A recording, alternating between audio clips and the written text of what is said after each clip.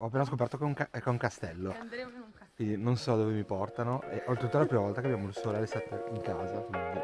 Lui è più emozionato del sole alle 7 in casa che deve. Vabbè, vabbè, eh, anche quella è un'emozione.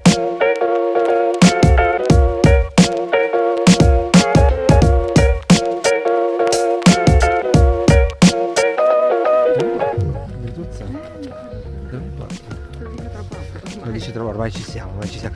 Mancano pochi secondi a- Pochi secondi. cioè, alla, sc- alla scoperta.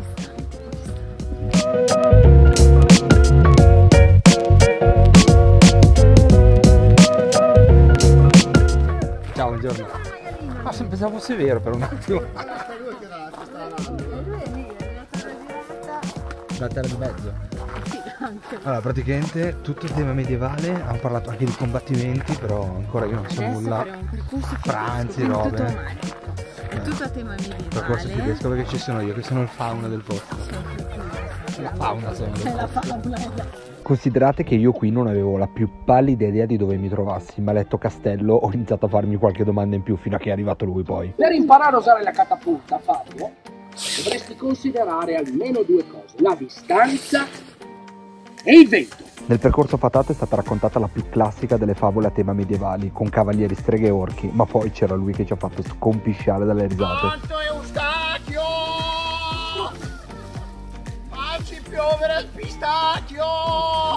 Te, fratello, che cammini nella via del Signore timorato, come ti chiama? Santo Mattia! Allora sorella se tu non vuoi senti alzi un dito e alzi anche altro dito E metti in orecchie, così che non senti. Cari fratelli, cari sorelle, cara donna avvicinata da campana. È stato indubbiamente uno spettacolo per bambini, però come potete vedere, come potete sentire le risate, anche noi adulti ci siamo divertiti davvero tantissimo. Ma non è finita qua, e la cosa bella è che i bambini hanno dovuto prendere parte ai combattimenti e alla favola. Ah, uh. Molto più da cavaliere. Ah, uh.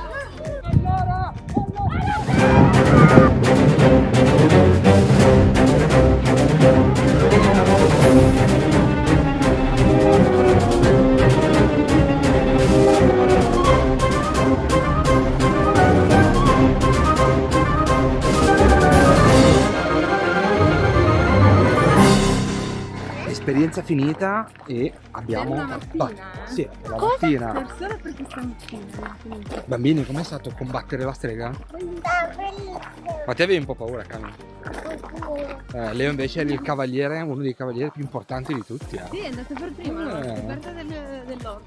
Vabbè, ora bello l'orco, bella la fiaba, ma c'è una fame, andiamo già.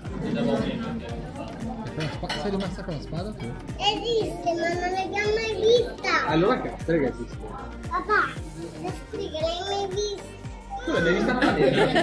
Volendo per mangiare potete prenotare un sacchetto da fare un comodo picnic lì dentro il parco, ma noi abbiamo scelto di mangiare al ristorante e non ce ne siamo assolutamente pentiti. Gnocchi fritti e caramelle piacentine. Oh, abbiamo fatto anche la scarpetta. E ora visita il castello. Perché sì, siamo all'interno di un castello, il castello di Gropparello. Io non avevo mai sentito parlare, eppure a quanto pare è famosissimo. Nelle storie in tantissimi ci avete detto di conoscerlo. Addirittura chi l'ho segnato nei posti da visitare, ma per gli ignoranti come me cosa ne dite? Facciamo un ripassino? Il castello di Gropparello è una rocca fortificata che trovate in provincia di Piacenza. Un castello che lascia bocca aperta, costruito a strapiombo in un canyon naturale scavato dal fiume Vezzeno, che incarna l'immaginario del castello fiabesco con draghi, cavalieri e principesse. La storia qui è tanta e luogo da vita fiabe e misteri che vivono ancora oggi. Oltretutto è mantenuto davvero bene e non dimostra i suoi 1300 e più anni. Una torre sotterranea, stanze regali e un ponte levatoio fanno da cornice ad un gioiello tutto italiano.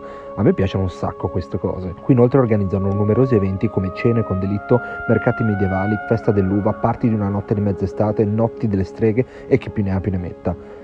Noi ora abbiamo preso parte ad una visita guidata nel castello per scoprire tutti i segreti e il nostro Cicerone, beh, che ve lo dico a fare, anche lui ci ha fatto vivere un momento davvero immersivo. Oh, segnatevi il castello di Gropparello su Google Maps, merita di organizzarci un weekend qui. Ma dove l'ho portato? O meglio, dove li ho portati? Perché poi da regalo per papà in realtà si è rivelato un un regalo, per per, tutti. tutti. Perché a parte la vista, vabbè, spaziale. Papo, ti è piaciuta? Beh, Sta bello gita? Dove sei? Adesso qua perché mi hai messo contro luce, contro il sole. Ah, ecco. girare. Bello, bellissimo. Vero? E tu ci hai fatti lasciare la torre per un quarto d'ora per fare soltanto foto e video. Quarto d'ora. Eh? Vabbè. Siamo scesi per ultimi, adesso Sì. ci, ci daranno per dispersi. No, Andiamo. sì, sì.